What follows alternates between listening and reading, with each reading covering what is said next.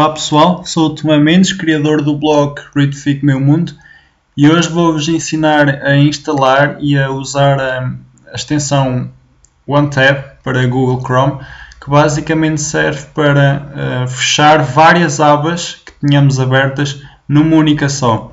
Isto é, imaginem que têm vários websites abertos que querem ler mais tarde.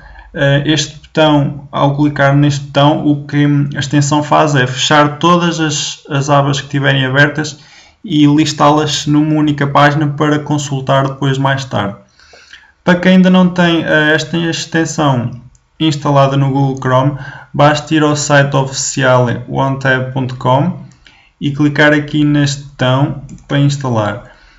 Depois, uh, é clicar aqui em adicionar. No meu caso, eu como já tenho a extensão instalada, não vou instalar novamente.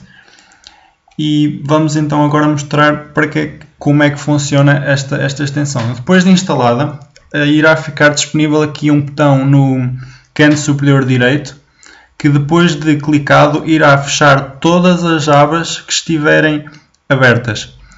Caso queiram, por exemplo, guardar determinadas abas e não fechá-las, podem vir com o botão direito do rato em cima da aba que não querem que seja fechada, por exemplo aqui esta, e selecionar aqui a opção fixar separador. Automaticamente esta aba não irá ser afetada pelo, pelo botão de One Tab. Uh, vamos então agora ver o que é que acontece ao carregarem nesta, no botão da One Tab.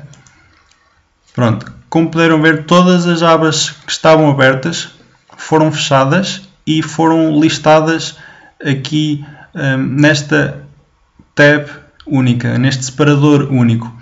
Um, se quiserem mais tarde ler todas, podem clicar aqui neste botão em Restore All, que irá abrir todas novamente e ler depois as notícias que não conseguiram ler na altura. Se por acaso um, quiserem só fecharem uma janela, imaginem que querem guardar todas estas quatro abertas e que apenas querem fechar esta. Basta clicar com o botão direito do rato em One Tab e nesta opção aqui enviar para o One Tab. Automaticamente aquela janela foi enviada para o One Tab. Para consultar um, todos os sites que te enviaram para a OneTab, basta clicar com o botão direito do rato, vir aqui a OneTab e selecionar a opção Display OneTab. Automaticamente abre-se a aba com todos os sites que guardaram até agora. E pronto, basicamente é isto. Um, abaixo deste vídeo poderão ver, para quem estiver a ver no YouTube, claro, um link para um artigo que eu escrevi no meu blog. Um, já agora mostrar uh, o meu blog que um, basicamente ensina a organizar e a analisar os marcadores do, um, no Google Chrome. O link pronto fica abaixo deste vídeo.